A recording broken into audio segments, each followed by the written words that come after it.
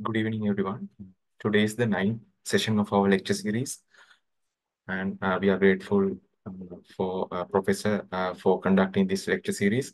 Actually, this uh, has been a very interesting lecture series, and we have received many positive feedbacks from the participants, and also our uh, video recordings in YouTube are having many views, and so that is also showing how important this lecture series is. So I would like to invite uh, Professor uh, to uh, continue. Over to you, sir. Okay, thank you, Banduka.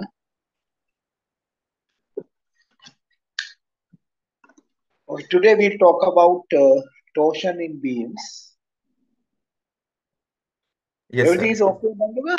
Yeah, uh, we can hear you, sir, and we can see the screen as well. Yeah, okay. Right.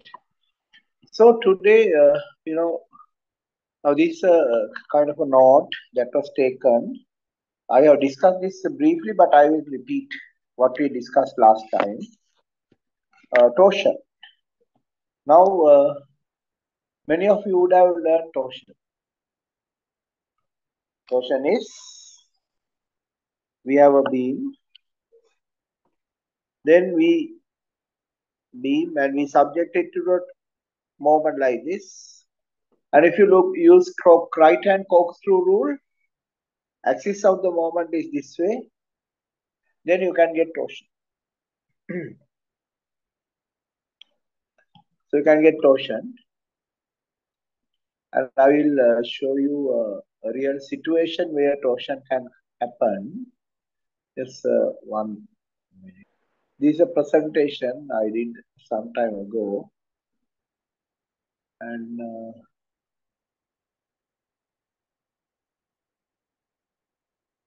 right. Now uh, we look at this particular building. Now you can see this is not a big building. It's only a 14 story building. Then you might ask why I show this. You can see the lower part of the building is a car park. And the upper part of the building is uh, is reserved for apartments. And at this particular level, you can see there's a transfer floor. So it's a it consists of transfer beams and a top slab.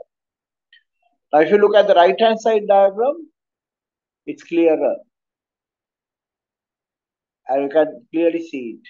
Here you can see big beams when you compare with the other members. So these beams are 1.5 meters deep.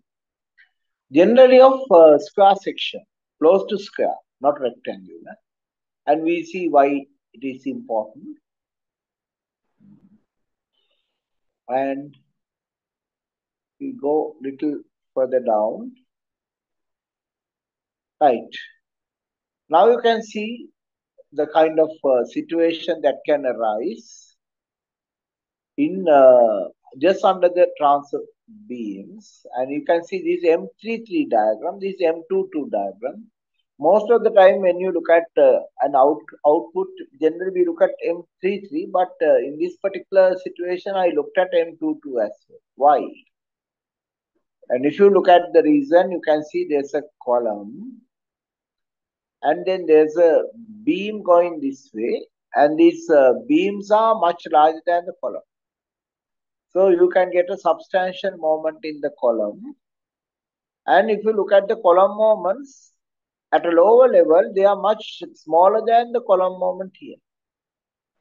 So you can see there's a possibility for us to get higher amount of reinforcement in the upper part of the column at a higher elevation just below the car park than at the ground level. So this is something that you might encounter in buildings with transfer floors.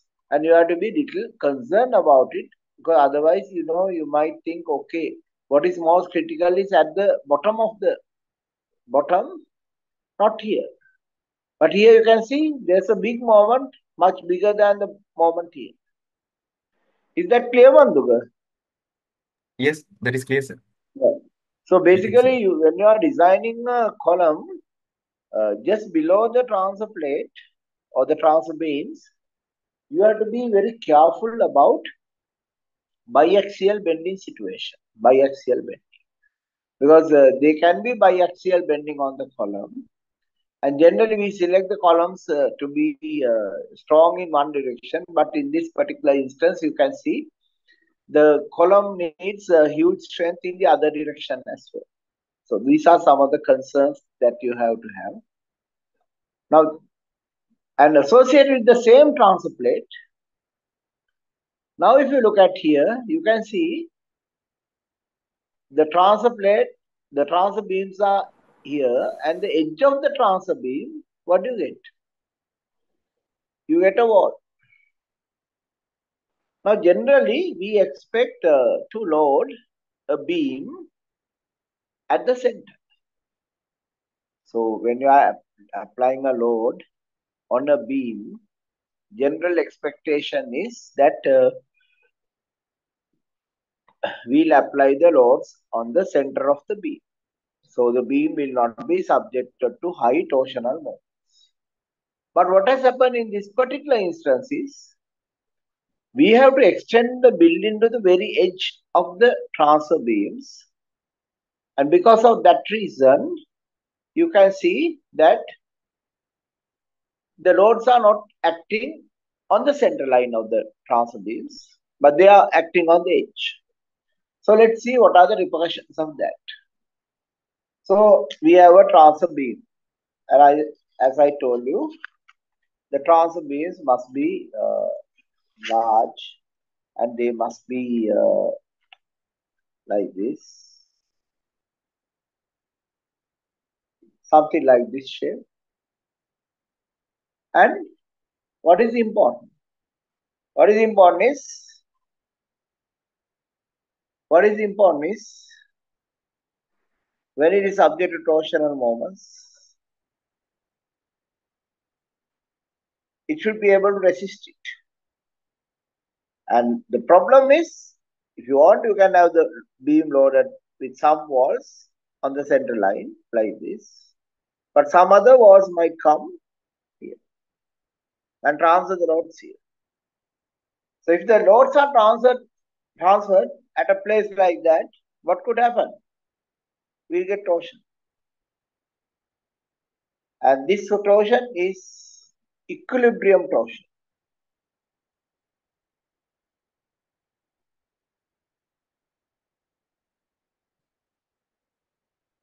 And it is not compatibility distortion.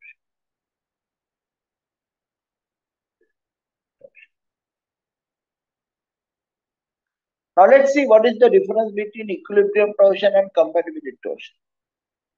Let's say we have a beam here, another beam here, supported, supported, supported, supported.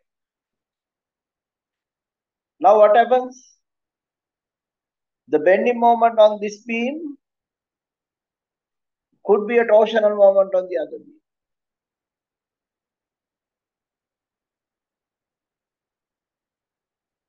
But because, but in this particular instance, if we say this is not torsional resistant, can the system exist? Yes, the system can exist. Then we say it's compatibility torsion, and what we do is we say torsional constant J or C close to zero when you are doing the analysis. I can give you one example. Let's say take a beam bridge, I beams. What we call M beam bridge,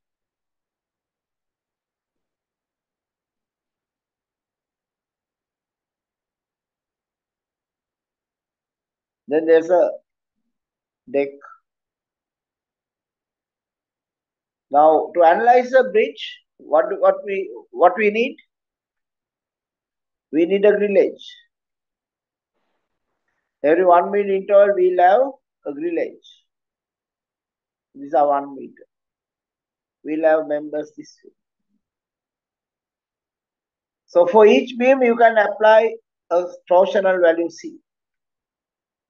But what will happen if you apply that? Then when you analyze, you will find because you have allocated a value C, now this is attracting more moment and you need a bigger section to resist. So it goes on like that. You apply a, you assign a value, then it, it says, okay, I need a bigger value. So because of those reasons, we say, let's analyze it as a torsionless system.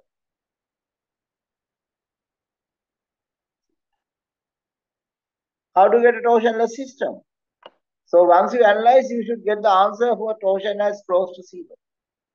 For that, we have to say torsional constant of these beams is very low, going closer to zero. So what we do is we uh, allow the program to calculate the torsional constant, then multiply it by something like 0.01. So we bring it down by 100. And what will happen? Not 100%, 100 times. What happens?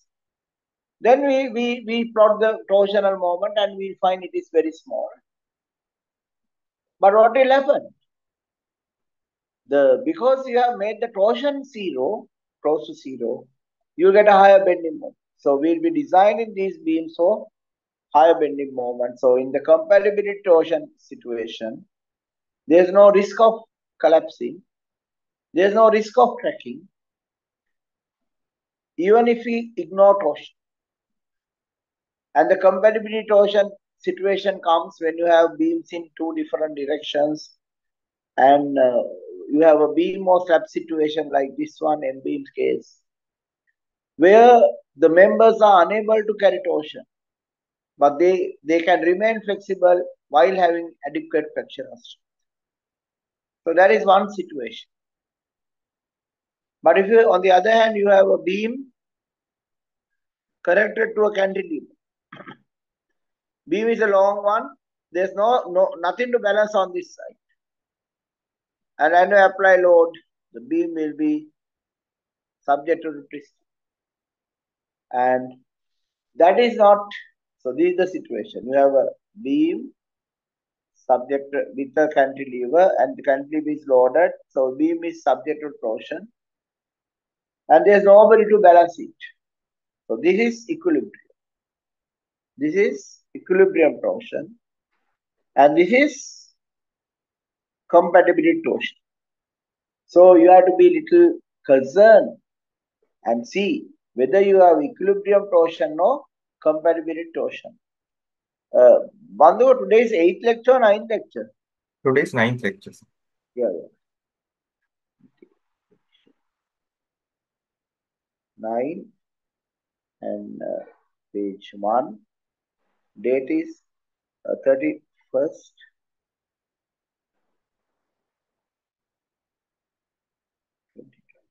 One month has already gone. Okay, yes. So, let's see. Let's look at the note again. So, it's very important for us to understand that there are two types of torsion.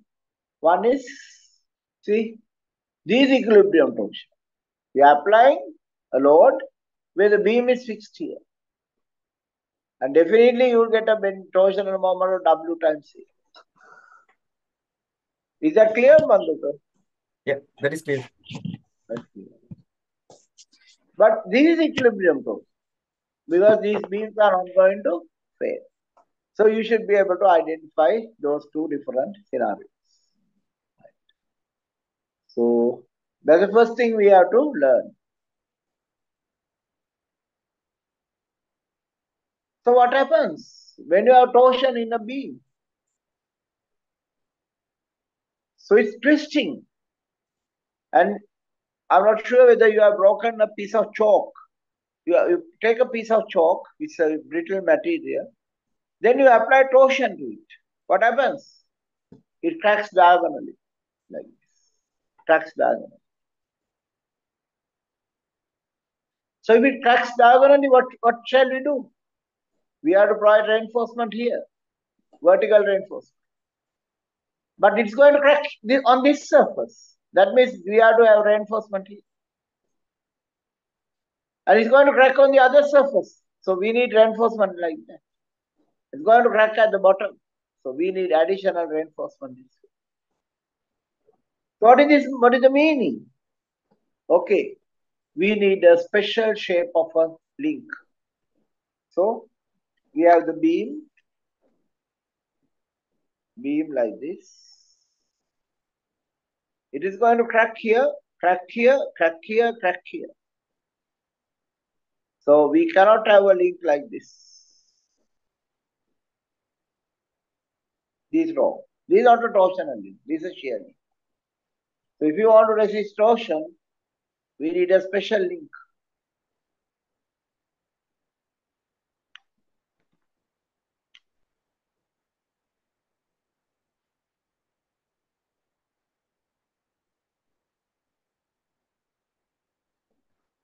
A close link like that. Is that clear, Bandhuga? Yes, clear, sir. So this is a torsional link.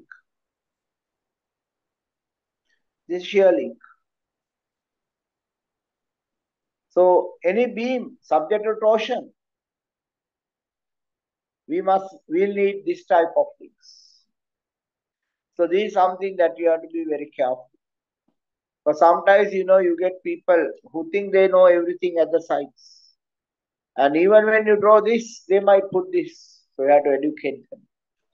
Saying that uh, torsional link is different. These are these are an element subject to torsion. So that's uh, that's an additional information. And I'll share this screen again. And here now you can clearly see the problem. Here you can clearly see the problem. Here you can clearly see the problem. What is the problem? None of these beams, none of these beams are loaded axially. The loads are acting with an eccentricity. So they must be subject to torsion. And how to create that situation? Can you see some rigid arms here?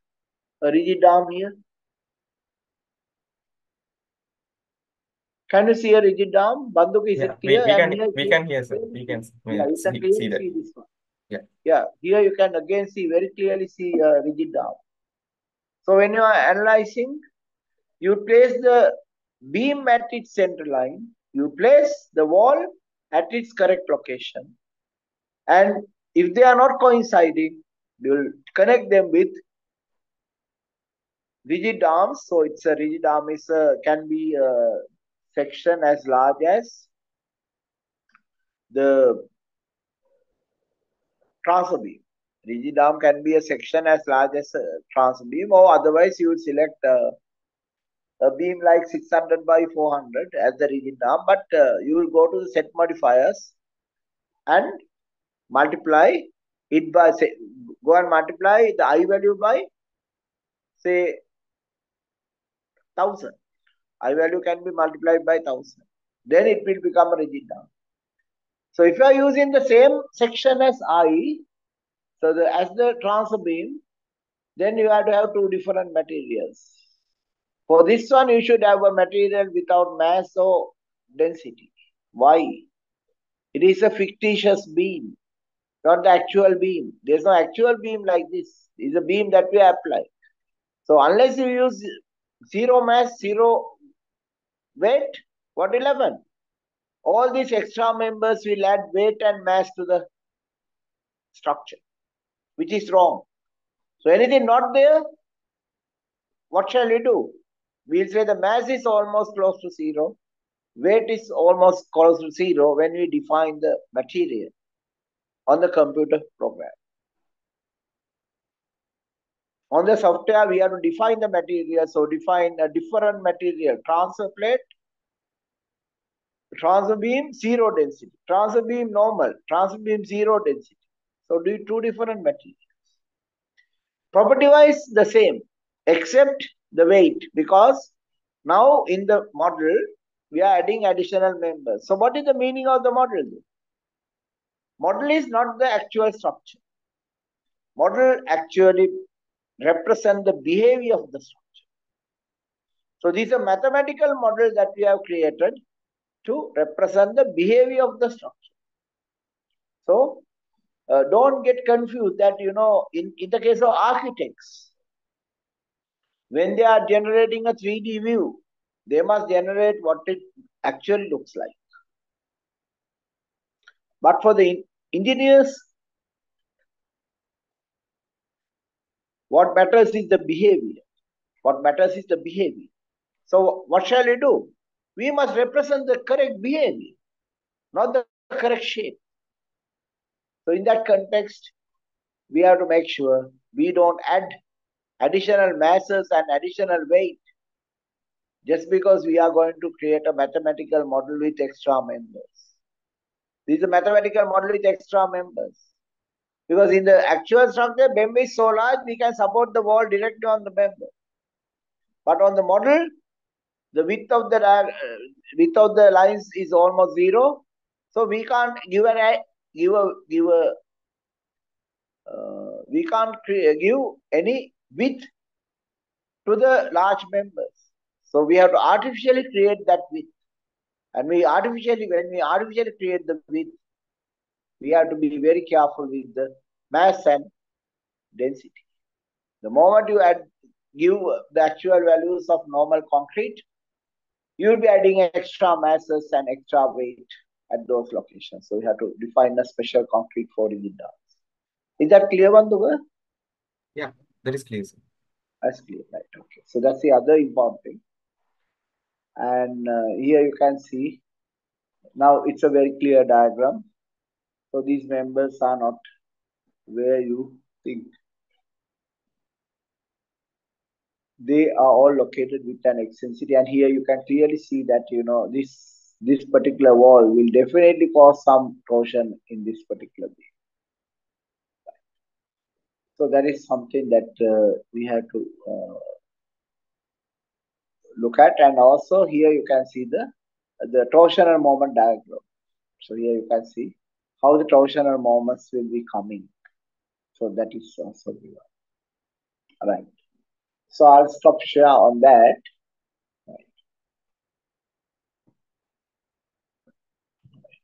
So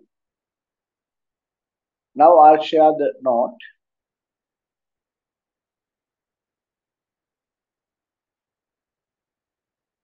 The moment you look at the diagram, you can see why we need cross links because torsion is everywhere. So you can't have any weak corner. So in the shear link, where we lap is a weak corner. But for torsion, we can't do any of those things. So that's why we go for the close link.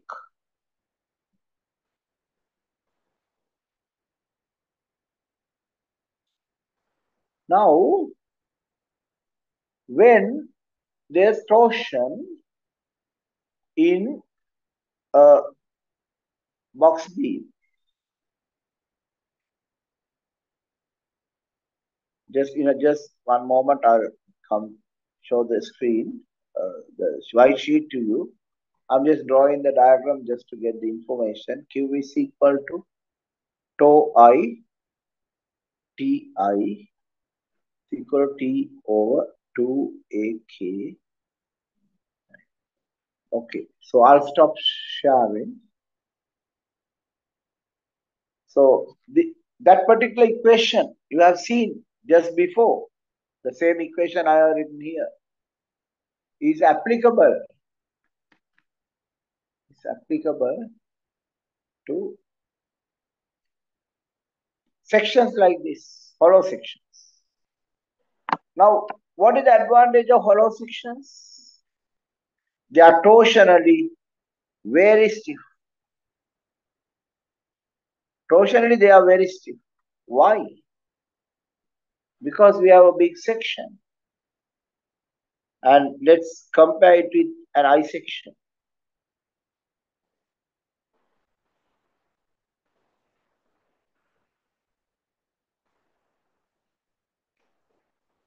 What happens when it is subject to torsion? We get a torsional shear flow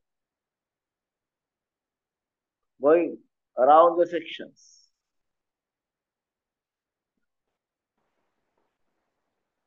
This goes this way, this goes this way. But what is the lever arm? Very small. Now here how the torsional shear occurs.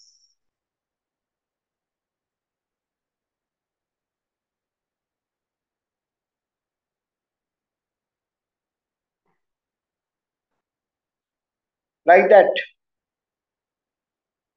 So, if the torsional stress is tau i,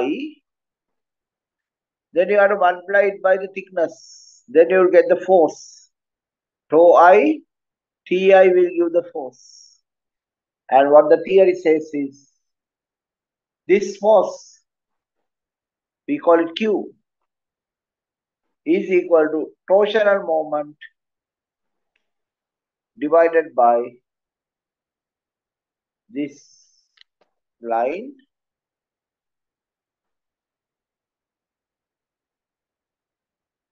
demarcated area.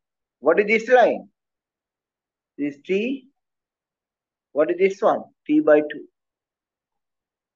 So take half the width. Take half the width. Take half the width. And then we take the area inside that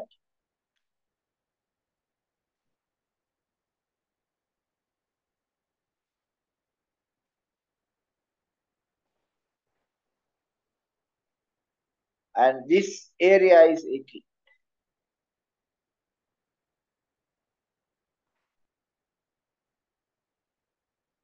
So we have an equation like this.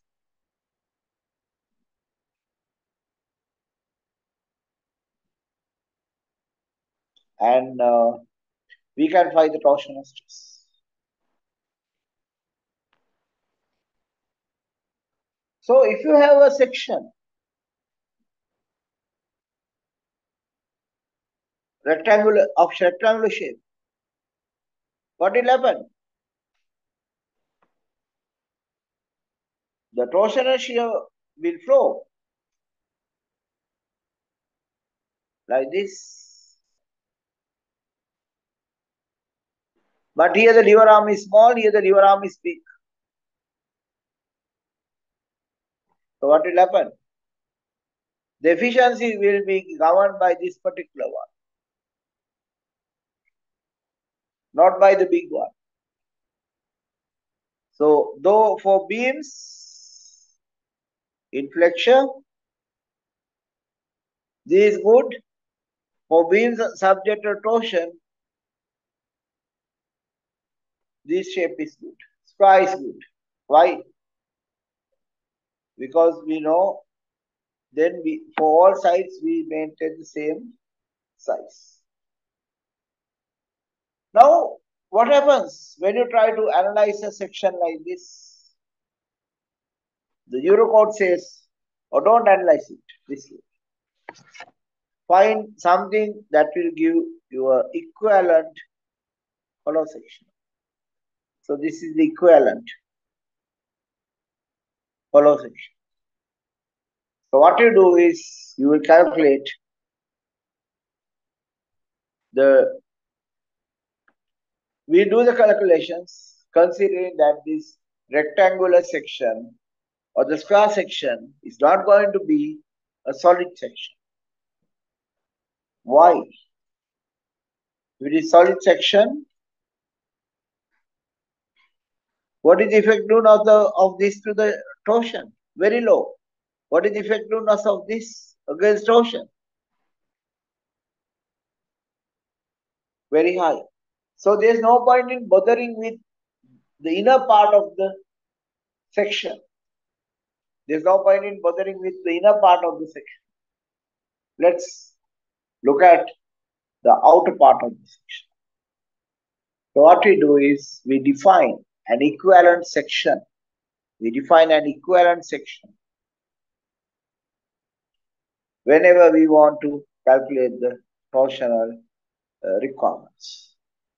Is that clear, Bandhuka? Yes, clear, sir. Right. So this is number two. Then we have to see how we look at torsion. So I'll uh, share the screen again.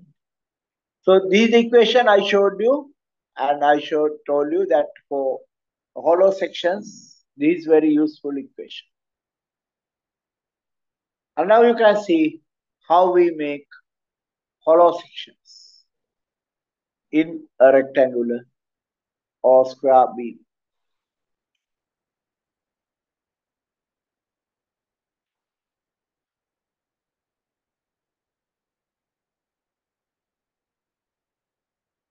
Shows the elastic stress distribution in a solid rectangular section subjected to a torsional moment. The shear stress due to torsion are tangential to the sides and in an elastic material the maximum shear stress occurs in the middle of the longer side of the rectangular section. The stress is zero at the centroid of the section and increases in an nonlinear manner towards the edge. A very high portion of the torsional resistance comes from the shear stresses acting over a short thickness near the surface of the box. Therefore, for all practical purposes, the solid section can be treated as a thin, thin walled section, hollow section. So you can see the thin wall hollow section. For all our practical purposes, we consider it as a hollow section. Why? Uh, most of the torsional moments acting on the section will be resisted by the outer skin. Now, when you are calculating this thin section, again it says is taken as AOU, but should not be taken as less than twice the distance between H and the center line of the longitudinal radius. So, what it says is, I'll stop here. When you have a rectangular section, or a scar section. Here we provide reinforcement. And we have links. And then we define a thickness for the section. What it says is, if this is simply the minimum thickness of a section should be 2A.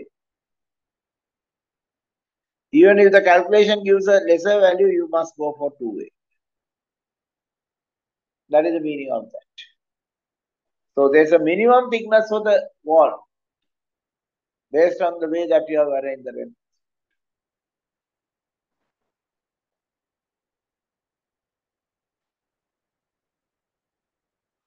Sorry, sharing the wrong note.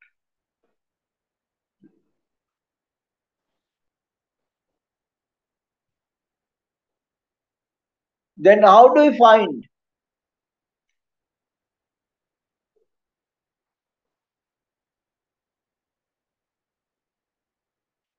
the thickness? The effective thickness is considered as A divided by U.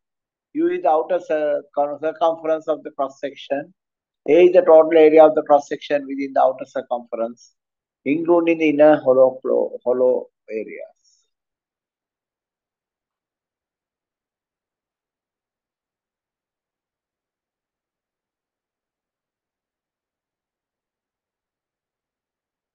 So there's a procedure for finding the thickness of the wall, but we'll uh, look at the example and uh, find it so it's easier to understand.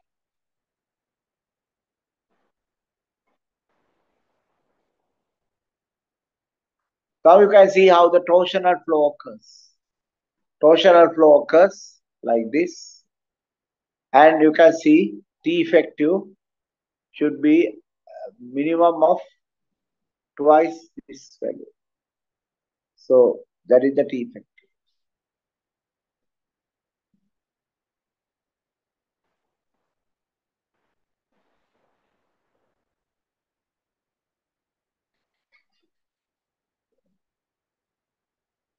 Then, eh, then one of the things about torsion is because torsion goes right round.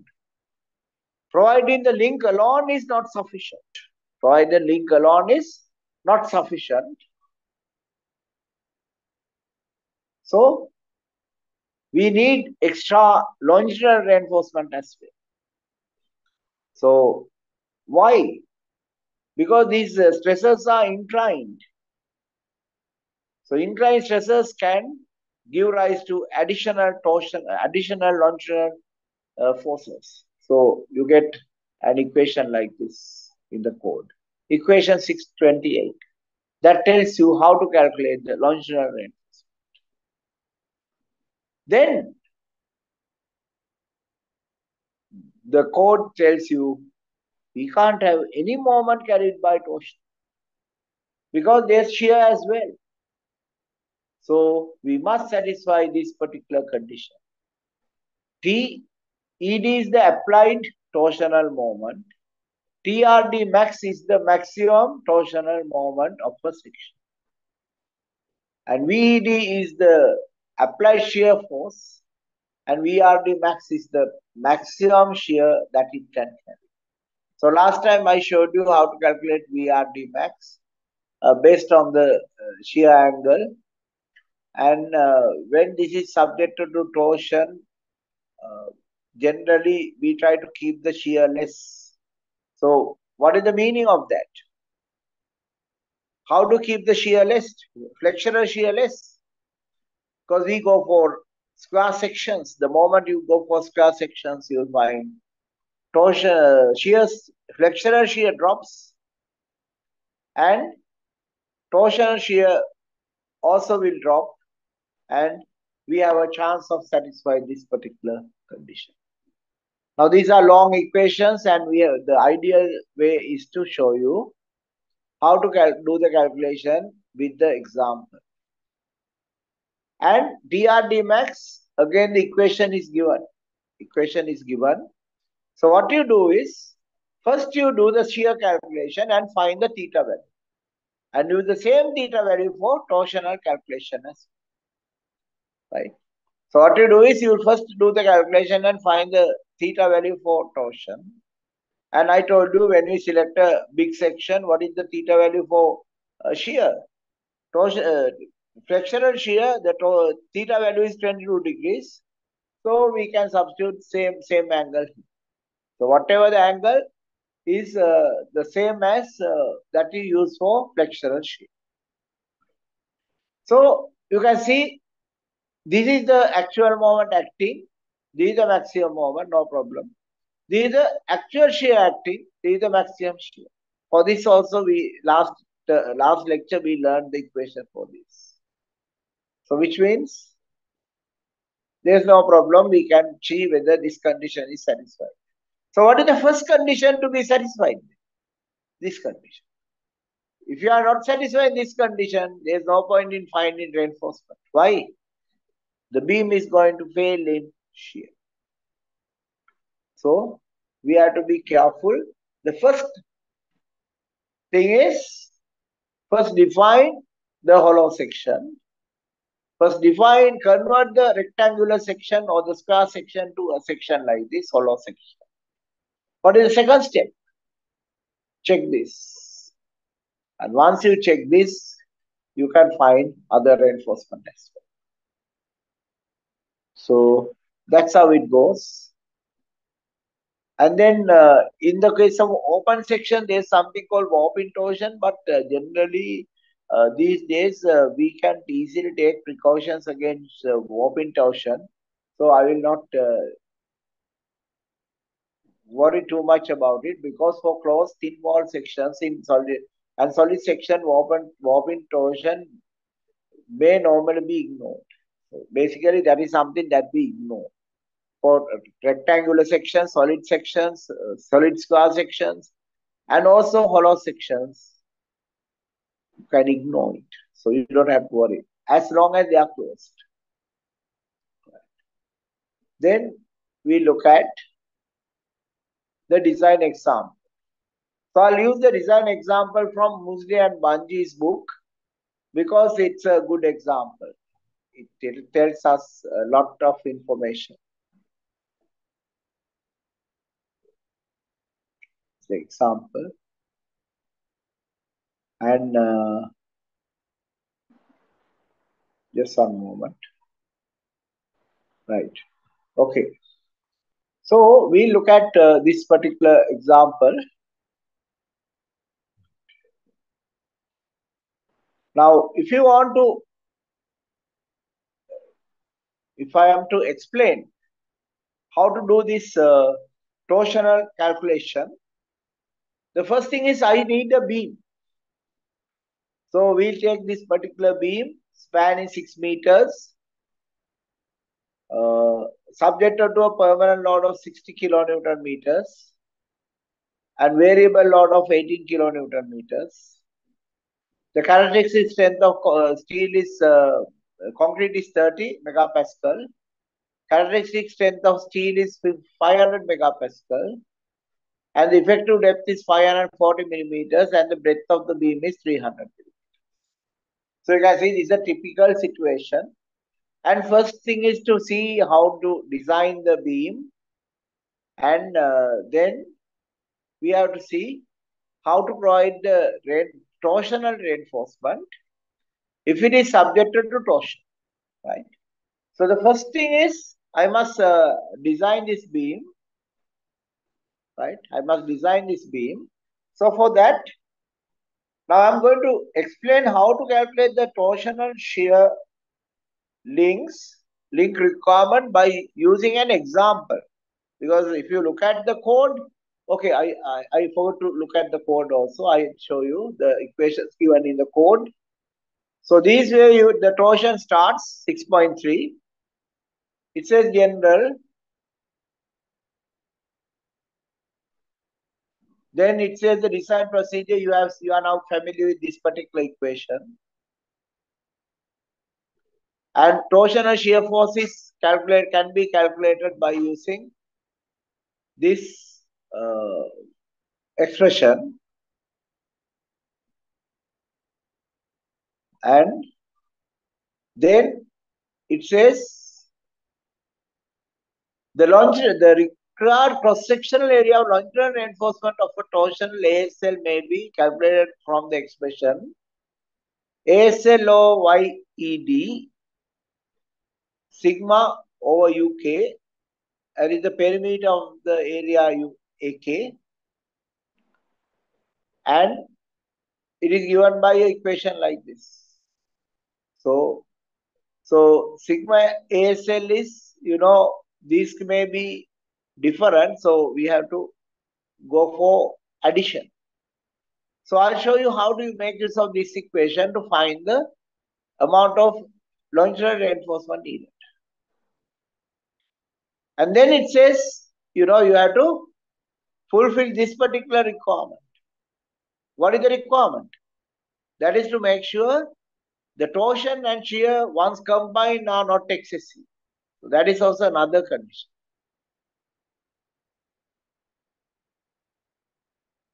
And then it comes to the warping torsion, which is not applicable to us. So torsion is only just that much.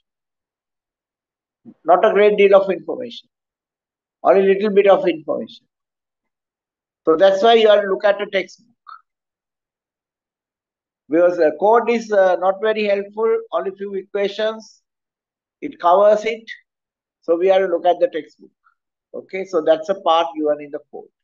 Is that clear, Mandukar?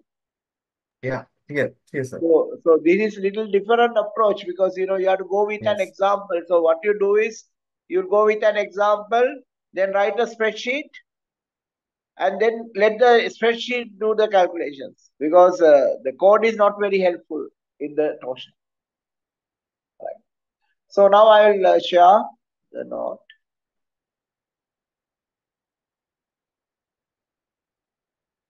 Right. So before we uh, design for torsion, let's design the beam. Now, if you look at the beam, the length is 6 meters.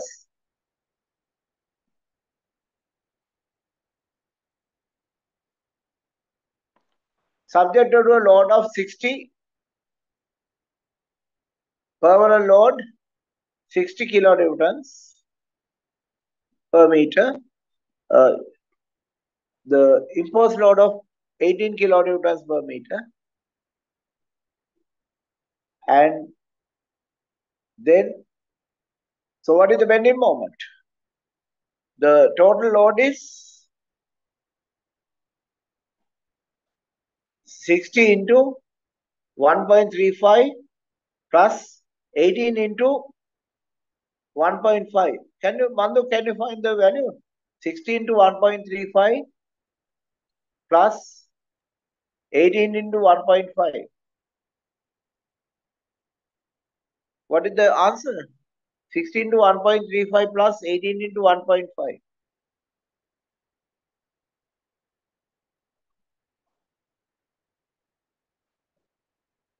One hundred and eight. 180 Eight. kilonewtons per meter. 180, is that right? One hundred and eight.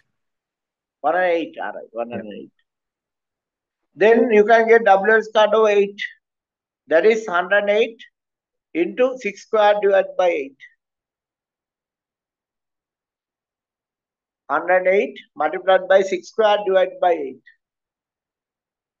Four hundred and eighty-six.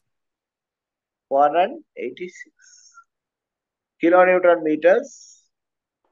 If you find MOBD squared, that is 486 into 10 to the power 6 divided by breadth is uh, 300 millimeters and depth is 540 millimeters squared. What is the MOBD squared value, please? 486 3000. in Three thousand exactly. no no 486 into 10 to the power 6 divided by 300 divided by 540 squared. Square, yeah. so Five point five six. 5.56. So it is actually a doubly reinforced beam. So we'll consider that, you know, whatever the uh, reinforcement given here is okay, correct.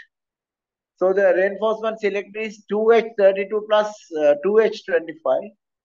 And for the compression reinforcement, 2H16. And 2H25 is curtailed, weight 32 goes to the very end. To the very end. Okay. So that's the reinforcement arrangement.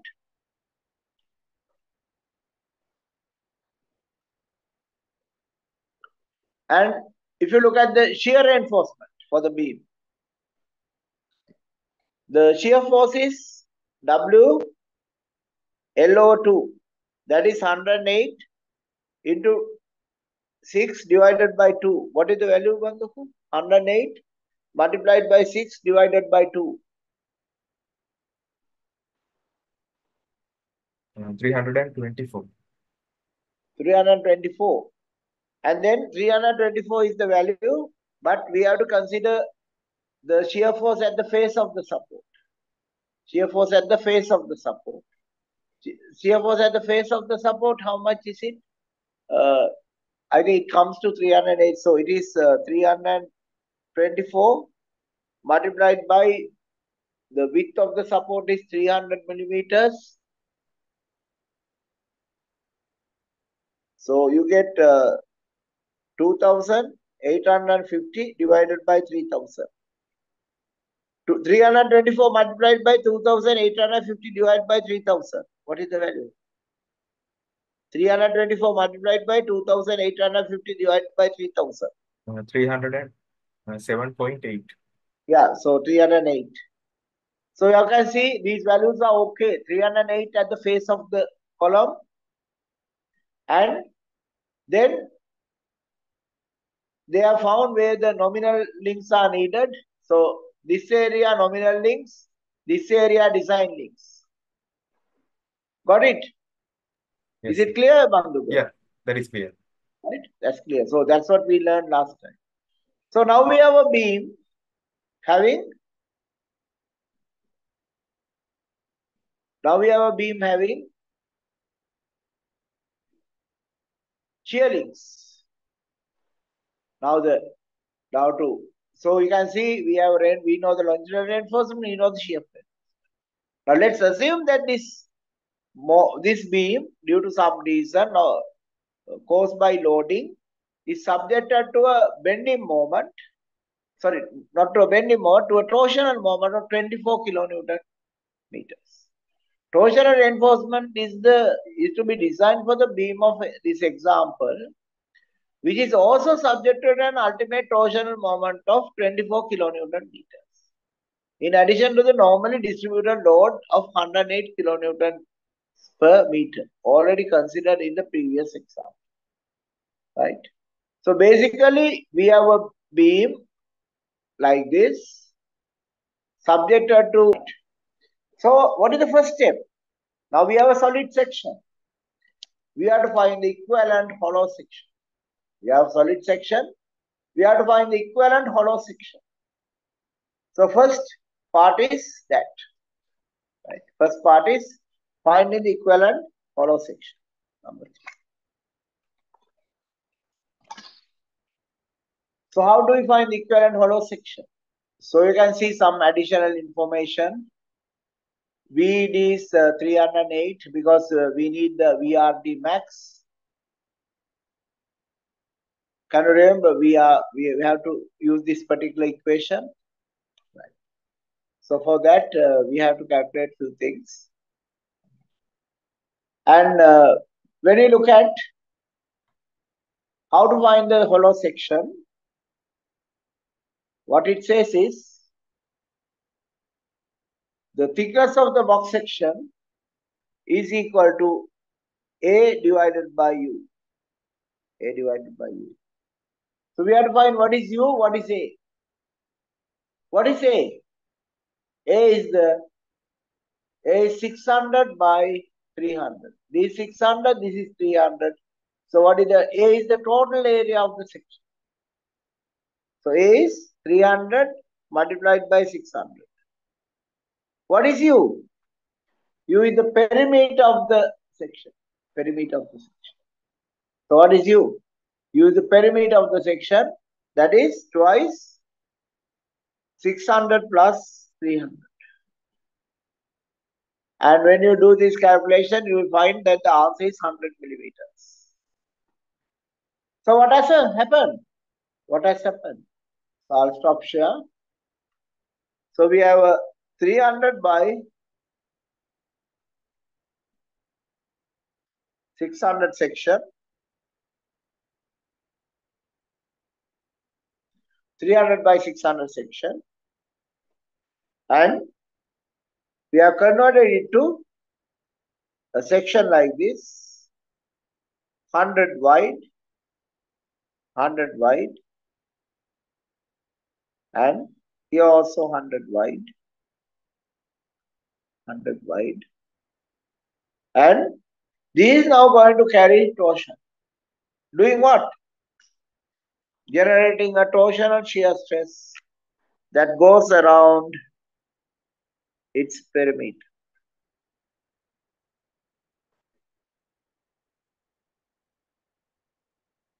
Like that. Is that clear, Mandukar? Yeah, clear, sir. Yeah. So what you have to keep in mind is this procedure is little different to the procedure given in BS 8110. In BS 8110 for torsion, it does not consider equivalent section. It simply considers the total section and you know it, it gives a procedure. But in this one, it is more logical. Why? Because uh, center of the beam is not doing anything. So you, we need not include the center of the beam in our calculations. So we ignore it. That is the procedure. Now we have to see I'll share the screen again.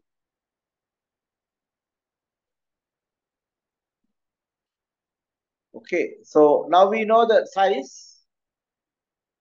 Then, if you look at the equations, for TRD max, we have AK and TED. So, effective thickness and AK. So, what we do is, we will calculate those values. So, we calculate those values. So area of uh, concrete uh, AK is the from the perimeter.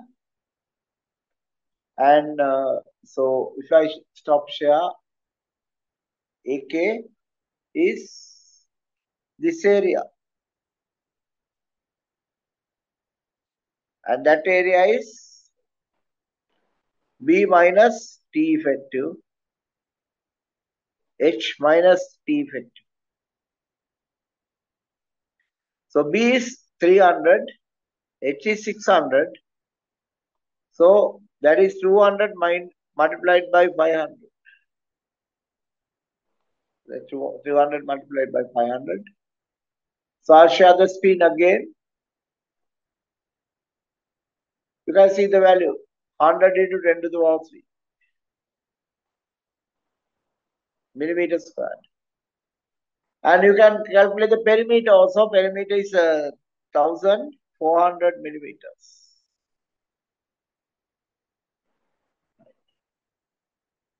So we have that.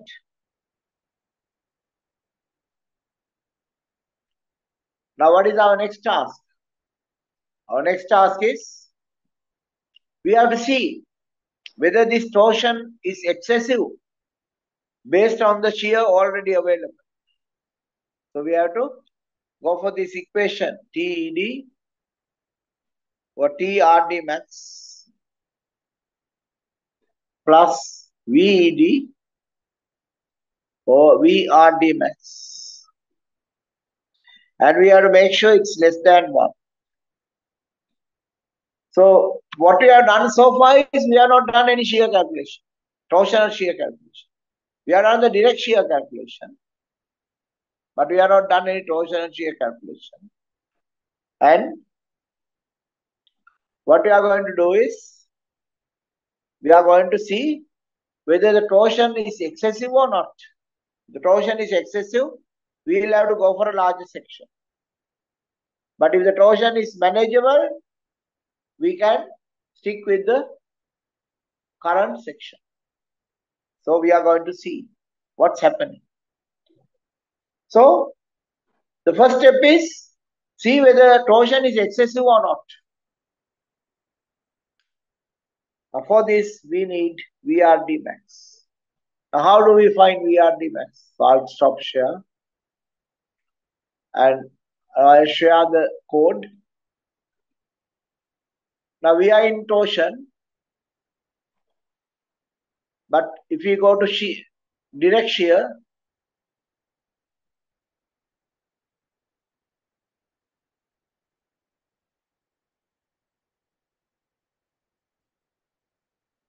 we have the equation for VRD max. And uh, so that means VRD max is, can be calculated. VRD max is uh, alpha CW and we know alpha CW is uh, 1. So here it says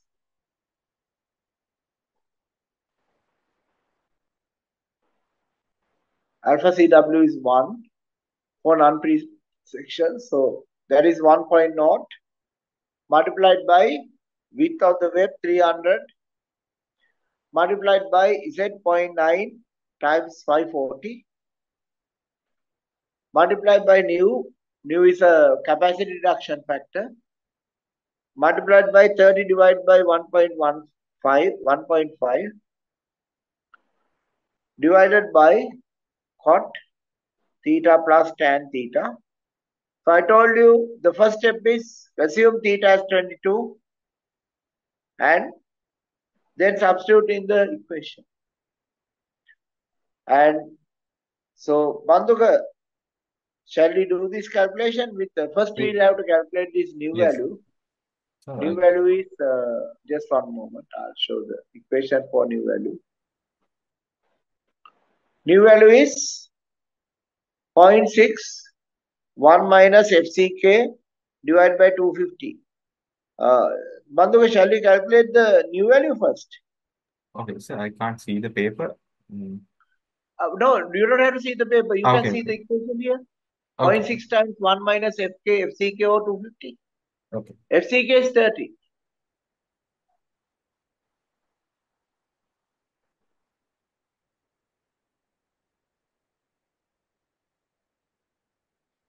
This is the equation. Point, point, point five two eight. 0.528. Okay. Now show the paper.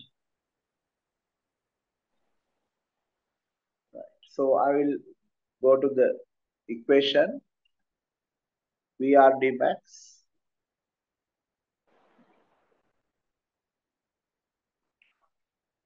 Right. So this is the equation. Alpha alpha is 1. BW is 300. Mandu, can you take down? BW is 300. Z1 is, Z is uh, 0.9 times 540. Can you remember Z is 0.90?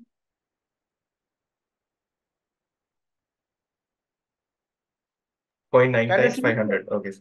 Yeah, yeah. Right. 540. Okay. 0.9 times 540. Okay. Nu is 0.528. Okay. FCD is uh, design strength of concrete. That is F FCK divided by 1.5. That is 30 divided by 1.5.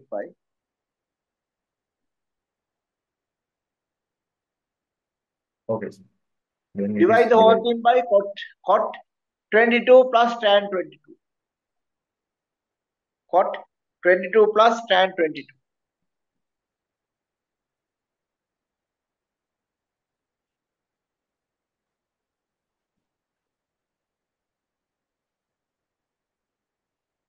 What is the value you get? Um, Into 10 to the power minus 3. five hundred and thirty-four point seven six. Yeah, VRD max is 500. Thirty thirty-four point seven six. So shall we say 535? Yeah. Okay. And uh, the design shear force was 308.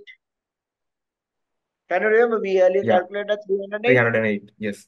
Yeah. So VED is uh, VED is the design shear force. If you look at the definition, VED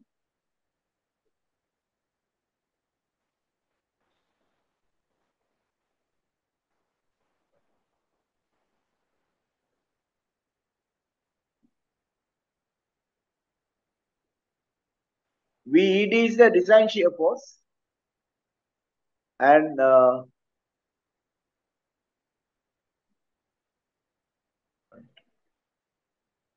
just one moment.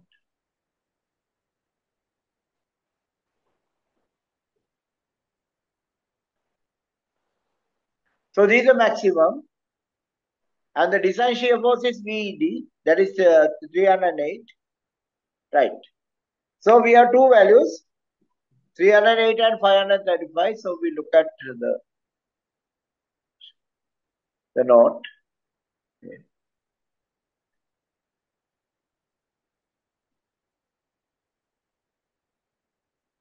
So this is equation. So we know VED, we do know VRD max. So VED is less than VRD max. So what is the angle then? Angle is 22. Angle is 22. Can you understand it, Manduka? Yeah. Yes, sir. Right? Yes. So angle is 22. Right. And can you remember last time I said always select the section large enough so that angle will remain 22? Yes, sir. Yeah. That is easy. Otherwise, you know, this uh, becomes a little too complicated.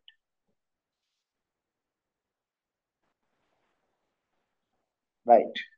Then it says uh, is uh, known, that it says 24, the problem. What is TRD max? Is equal to twice nu. And uh, nu is uh, calculated as 0.528 multiplied by FCW 1.0 alpha CW 1.0 multiplied by AK. Can you remember we calculated the area 100 into 10 to the power minus 3? 100 into 10 to the power 3 Yes. multiplied by the thickness. Thickness is 100 multiplied by sine 22 cos 22.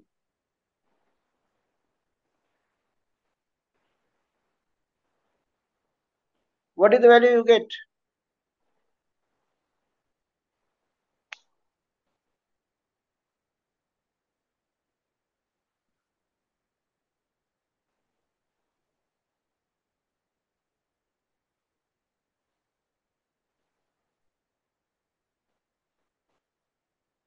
Three point six six in ten to the power six.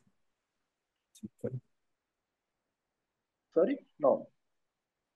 Three point six six um, in No, I 10 think to the power we, we have six. missed something. We have missed something. Yeah, just one moment. Okay. Uh, FCD. FCD we have not multiplied. Right? Yeah. So multiply that by 30 divided by 1.5.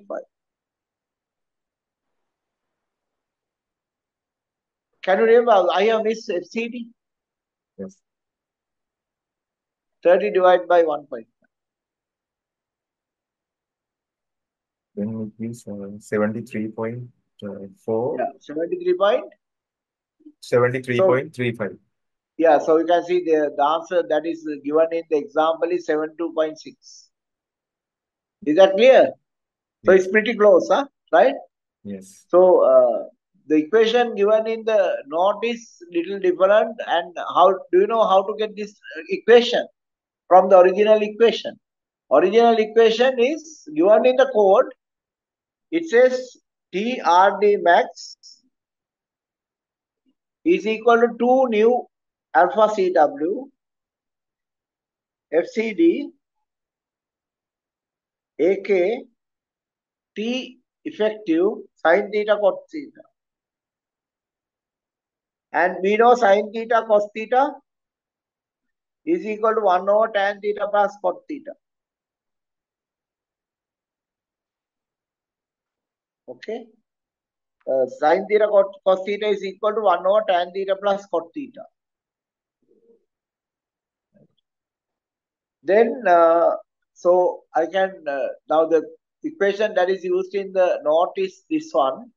This may be easier. If you are writing a computer program, this equation may be easier. So we see how to get that equation. So TRD max is equal to, so I'll stop here. TRD max is equal to, We got the value seventy-three point four. Uh, yeah, 2 No, I'm I'm just trying to show how to get that equation Okay. that is given in the note. Because if you are writing a computer program, it, that equation is easier. yes. Now you can see definitely you will write a computer program for this. Why? It's little too complicated to think and do. So this is the type of thing. It's very you know ideal for computer program. So because the procedure is set, so we can easily write it, and then you get alpha two two nu into FCK divided by 1.5 multiplied by AK T tan theta plus cot theta. So 2 divided by 1.5 is 1.33. Nu F CK AK T tan theta plus cot theta. Is that clear, one? This Yes, equation, okay? Right? And if you look at the equation given that we have that it is used that's used in the design example,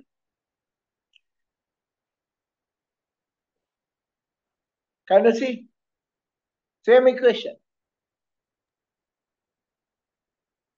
Is it clear, Vandhuka? Yes, yes, sir. Same. So, so, so if you are writing a computer program, this equation is easy.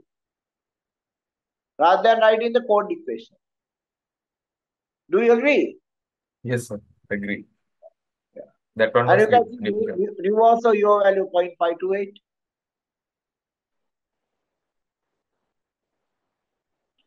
So this TRD max comes close to 73. Yes. So now we can substitute and see whether it's less than 1.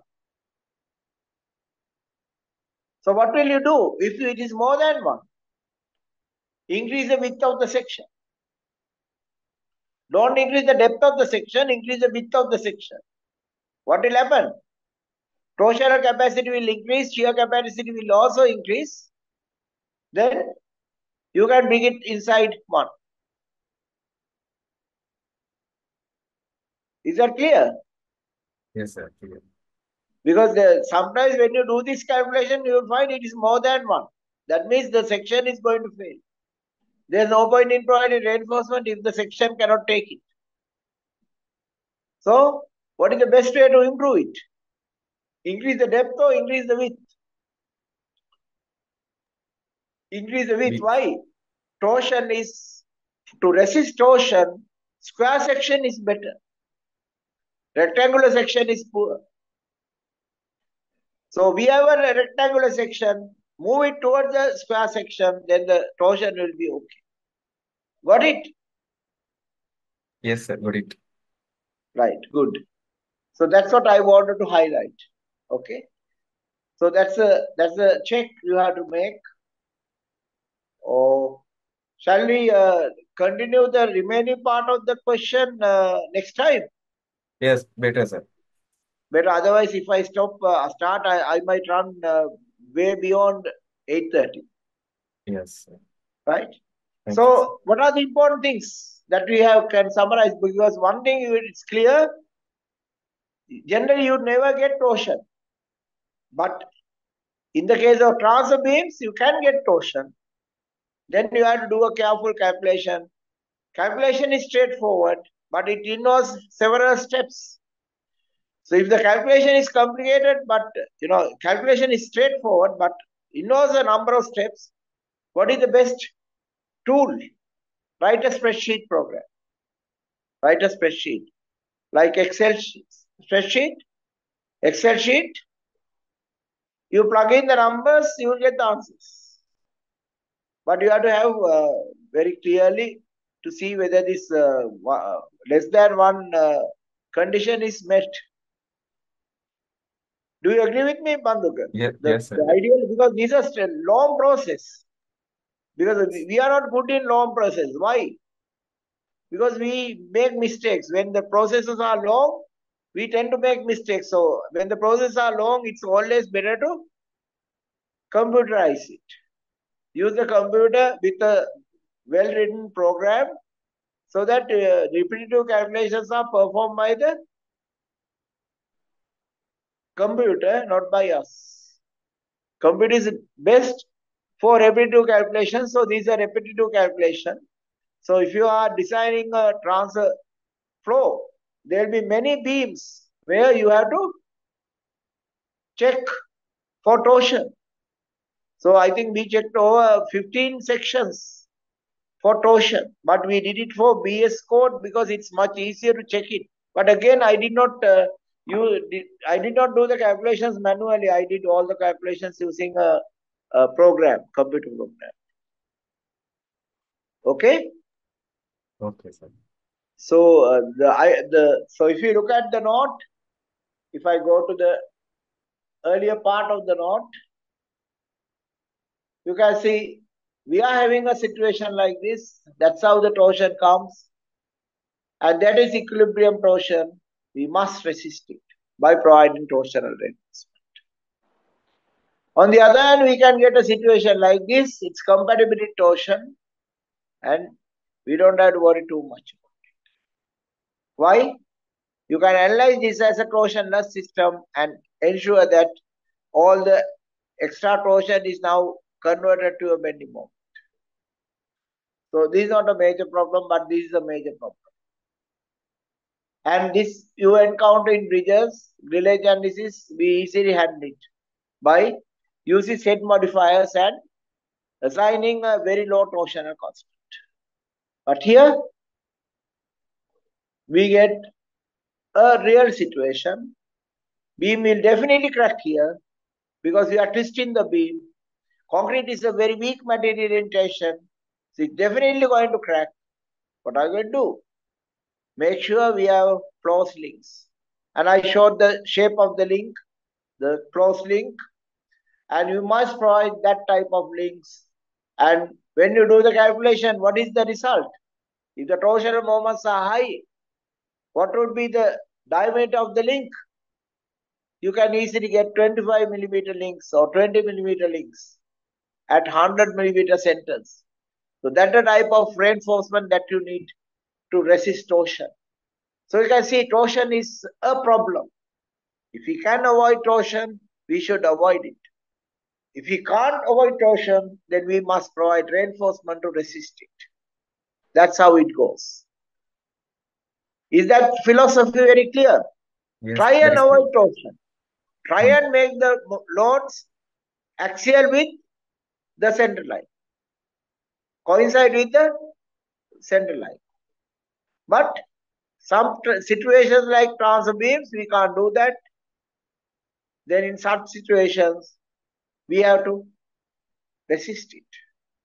But there's another way actually to uh, make it coincide. And if you look at this particular building, sometimes what the architect can do is architect can bring the transfer plate this uh, because uh, generally there will be less restrictions below the below the if you are if the land is large enough there are less restrictions on the on the area below the uh, or within the car park. What you can do is you can bring it out the center line can be brought out and then the transfer beams will be shown as a band projecting out of the building.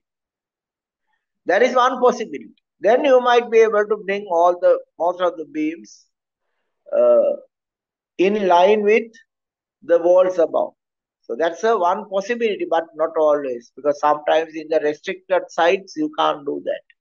But in a site which is large, that may be one of the solutions to avoid torsion because the moment you get torsion, you will need lot of reinforcement. The beam can become very expensive. So to reduce the cost, one of the option is to project the transfer beam out and consider it as a kind of a band, visible band when you look at from when you look at the building from outside. So that's one possibility. But in this particular building, they wanted it flush, so we had no other option, and we actually got 25 millimeter bars at 100 millimeter centers in certain locations. The huge amount of reinforcement, and but unfortunately, you can't avoid it. You can't avoid it. Is that clear, Bandhukar? Yes, that is clear, sir. So torsion is not a joke. Torsion is a problem, and torsion solving the torsional problem is also very expensive. So that's what you have to keep in mind. Right? That's why I thought I should uh, we should although it's a little difficult, we should handle it because uh, it's very important for engineers to be aware that torsion can occur, and when torsion occurs, the repercussions can be very bad because beams are going to crack right round, ugly cracking, durability problems. So we should try our best to either make the loads aligned so that we don't got we don't get torsion. On the other hand, we can't do it due to various site restrictions and the restrictions imposed by architects. We can't do it. We are to tell the client, you are making it very expensive by having these not coinciding, and you must try your best to make them as aligned as possible. Is that clear? Yes, yes, sir. Right. So, are there any questions, Bandhukar? Uh, yes, sir. Uh, there's one question regarding this uh, modeling. Uh, isn't Yeah. it better have shell element drawn to the length of wall as a rigid arm because rigid beam may induce excessive torsion moment on main beam. No, no, no. Actually, what is the question again? Read it again. Uh, isn't it better have shell element drawn to the length of wall as a rigid arm because rigid beam may induce excessive torsional moment on a on main beam. No, no, no. Actually, you know, you can't uh, connect shell element. You can't use a shell element to represent the. Uh, Link. the question is whether a shell element can be used or a beam element should be used. Is that right? Uh, he's, he's asking whether shell element can be used for the rigid arm. Generally, rigid arm should be beams. If you if you look at textbooks, what is recommended to form a rigid arm is always a beam. Uh, you cannot find anywhere in a textbook where they say, you know, use a shell element and create a rigid arm. Is that clear? Okay, sir. Yes. Yes. So always, uh, if you look at uh, the standard textbooks, they always recommend use a beam and create a rigid arm. There's a reason for that also, because rigid arm technology came at a time when shell elements were not available on software. Right? Mhm. So the only option was uh, is uh, beam, but uh, my uh, sometimes uh, shell element also might work. But if you look at the standard textbooks, they all recommend uh, the use of uh, beam element as a rigid arm. Okay, Okay, have I sir. Clear. answered the question? Yeah. Yes, yes. sir. But but but if some somebody wants, they can do an experiment and see whether it works. But uh, generally, we there's no harm in using rigid arm out of beams because that's what recommended in textbooks. Mhm. Okay, sir. Right? Talk textbooks going deep into the theories, they recommend uh, beams. They, they I have never seen a place where they have recommended uh, shell elements to use to represent the rigid arm. Okay. Okay, sir. Right. And there's one more question. Uh, Yeah. For a long off-center wall, at which intervals rigid links should be projected out from the structural beam? No, no, no. You don't do that uh, because you know wherever there's a wall. Ah, what he says is there's a very very long long, very long wall, and how many rigid links Ah, should be there in that like case, that? in that case, in that case, you must not. Uh, if the wall is very long, that means you are having very heavy load on the transfer beam. Then you must one way or the other bring it to the center. Now, now what happens is we have few- several walls. You try to put some on the middle, but when you put some on the middle, some will may not be on the middle. But if you have very long wall, don't put it eccentric. That is a wrong concept. What do you think, Manduk? I mean, we have Yes, very long correct, wall. I mean, you, Hmm. Why, why can't we make it as uh, you know coinciding with the center line? Because you have to adjust the beam. But what happens is you have a number of walls, right? Some are on the center line, some are not on the center line. Then, then you, you need a rigid arm, right? But if it is a very long wall, don't put it on as eccentric wall. Always negotiate with the architect and make it a, a coinciding wall with the wall coinciding with the center line. Okay? Okay, sir. Okay, clear, sir. Yeah. And one last question, uh, how how to provide torsion in cantilever beam? Like A torsion in cantilever beam is not a problem at all because you know that it's a statically determinate system when it is a cantilever. So you straight away know the torsion. So when you know the torsion, uh, design the reinforcement in the normal way. And there's a request. that clear? Is that clear, Mandagopi? Because you know, if it is a cantilever and you know the eccentric load is a statically determined system, yes, sir. then you know the torsional moment at the place where the cantilever starts. What do you have to do? Just design for that torsional moment. Yes. Then, then, then the procedure is the same, the same as this one. So we have to make sure there's a torsional is uh, moment is less than the this combined combined shear and torsion is less than one, and then uh, design the longitudinal reinforcement and torsional reinforcement in the normal way. Okay. And Anything else? uh, there's a request. Uh, shall we have a special session for grillage analysis? Actually, we uh, This I showed it uh, during the last year's session. Sorry, sir. Mm, last year when when we were talking Ah, about yes. figures, uh, didn't we? Uh, I mean, they, they, that lecture may be on, lecture may be available. Yes, sir. I will I will uh, get that lecture and will share the link uh, in the group. Yes, yes, was you better do that. But if there's any specific uh, question, if the question can be sent to us, we can answer it, Uh, yes. right?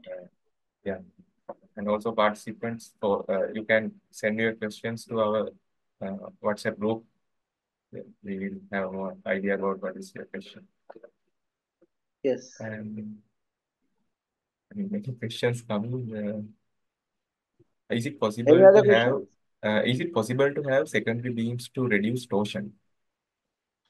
No, actually, secondary beams. Uh, uh, now, to, generally, when you analyze the structure as 3D, you don't get torsion. Okay? Because torsional moments are so small, we ignore them. That's a compatibility torsion situation. But torsion comes only in this very special situation, that is the transfer plate. No other place. So you don't when you are having secondary beams, all those things, you don't have to worry about torsion. Now you worry about torsion only at one place. Worry that. Either you have a cantilever uh, projecting out from a beam and exerting the moment, or else a big beam like a transfer beam where the loads are not uh, on the center. That's the only situation. But uh, be aware that you know you have to be concerned. You have to. You should have train your eye to identify compatibility torsion and equilibrium torsion. Right?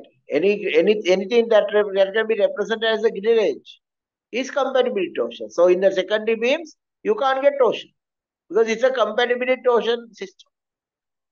Whereas uh, when you have a transfer beam with eccentrically loaded wall, it's a equilibrium torsion system. So equilibrium torsion situation must be provided for. Is that clear, Bandhu? Yes, yes, sir. That is clear. That's clear.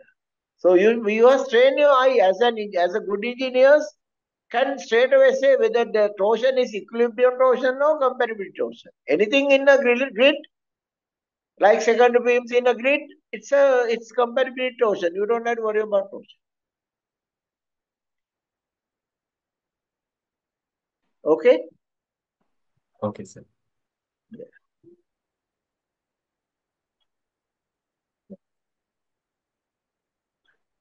Now, if you are an expert engineer, you should train your eye. Whenever you see a situation, the moment you see a relay, like in a secondary beam system in two different directions, uh, then you know it's not a problem. It's you can just analyze it as if uh, you know in the uh, without worrying about torsion. Whereas uh, on the other hand, you get a situation where uh, anyway when we are analyzing secondary beams, we introduce uh, pin ends at the ends, pin supports. Yes. Where the where the where the secondary beam is connected to the main beam, we put a pin pin. So always uh, secondary beams will be in uh, simply supported mode. And how we achieve that in practice is we provide only two two numbers of 12 millimeter bars at the top of the secondary beam. Moment you do that, all the second beams are simply supported, so no torsion will be transferred to the main beams. Is that clear? Yes, that is clear. Right. Okay. Okay, sir. Okay, then why will wind up? Yes. Sir. So we'll continue the example next time, but uh, my recommendation is you'd better write a spreadsheet. So whenever you get a serious equilibrium torsion problem, uh, the how to minimize errors is because this is a long procedure. How to minimize errors is write a computer program. Otherwise, you know, this you are bound to make mistakes because this is too long, not to make mistakes. So you can remember, I always show shortcut methods. Why? Shortcut methods you can't make mistakes. Yes. Whether when the calculations are long, you can make mistakes. Would you agree, Bandhu? Yes, that is correct, sir. Yeah. So anything long, computerize it. Okay. Anything short, don't computerize it because sometimes before you enter the values on the computer, you can get the answer on calculator. Yes, sir. So if it is short, use the calculator. If long, computer. That's how we have to do it. Okay? Yes, sir. Okay, sir. Yeah. Okay then. Okay, Right. sir. So we'll wind up. Okay, sir. Thank you very much, sir, uh, for conducting this lecture series. Actually, uh, by attending this lecture series, we are day by day improving our analytical uh, skills as well as uh, calculation skills. So thank you very much, sir, for bringing them out and uplifting the knowledge of uh, practicing engineers. Thank you very much, sir, for that. And also, uh, I would like to thank uh, the chairman, Civil Engineering Sectional Committee, and Engineer Mangala Silva for continuing uh, this lecture series for this year as well. And also, I would like to thank the IESL Secretariat, Publicity Department, and the IT team for their hosting arrangements. And also for for the participants, thank you very much for your participation. We really appreciate that. And uh, thanks for your questions and enthusiasm. We hope that to be continued in uh, upcoming lectures as well. As, and also, uh, we would like to request from you to share our lecture series among your colleagues and interested parties. And also, we are uploading all these uh, lecture series and recordings and study materials. So anyone can refer it later as well. Anyway, we appreciate uh, your participation for this uh, online session as well. Thank you very much. And uh, we will see uh, next Wednesday, 7 p.m. Okay, Thank yes. Madhu. Thank Thank you very you, much. Thank you. Thank you. Thank you.